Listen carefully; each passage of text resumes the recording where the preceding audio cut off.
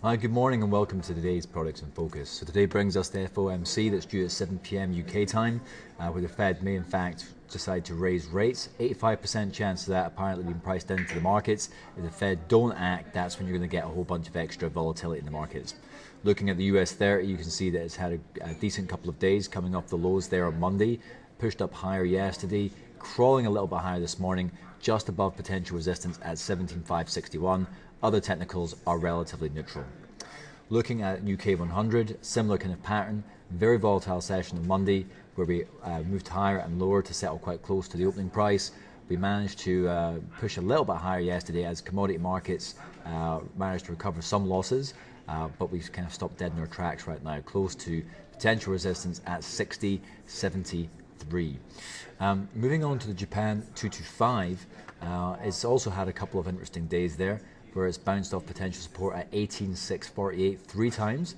Um, very volatile session yesterday where it was much lower, pushed a little bit higher, but pretty much finished bang on where it opened.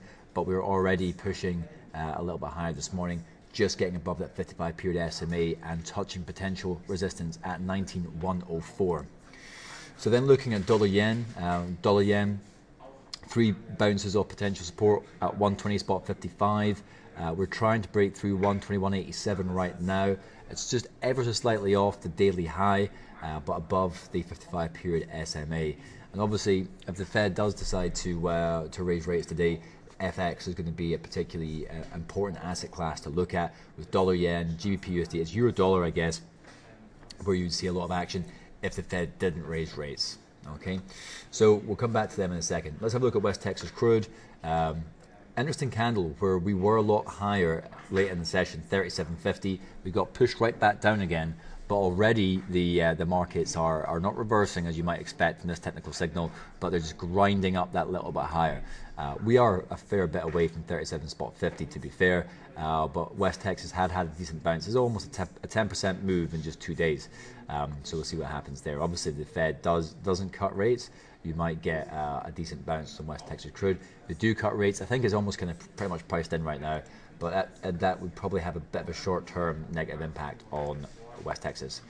So looking at gold, gold obviously interest rate sensitive, almost trading towards the bottom of its range uh, over, over, the last couple of years. Anyway, um, 1,072 being the potential resistance, uh, with, with 1,031 being the potential support. Shorter term potential support would be around about 1,046. If the Fed doesn't raise rates, expect gold to uh, get a, a, net positive out of that. So looking at uh, euro dollar, uh, euro dollar, bit of an ugly technical setup right here. We're making higher highs, but we're closing either bang on the level of the day before or negative as we were yesterday. We are trading below that 55 period SMA. We're in the middle of two ranges, one spot 11 being potential resistance. So that will be something you'll be looking at if the Fed doesn't cut rates. Uh, doesn't uh, doesn't add to rate, sorry, and uh, one spot 0819 would be the next potential support. But remember, rates are about 85% priced in already. Then having a look at GBP USD, uh, negative couple of days. We had bad day on Monday, we had a worse day yesterday, and it's kind of stopped at one spot 50.27.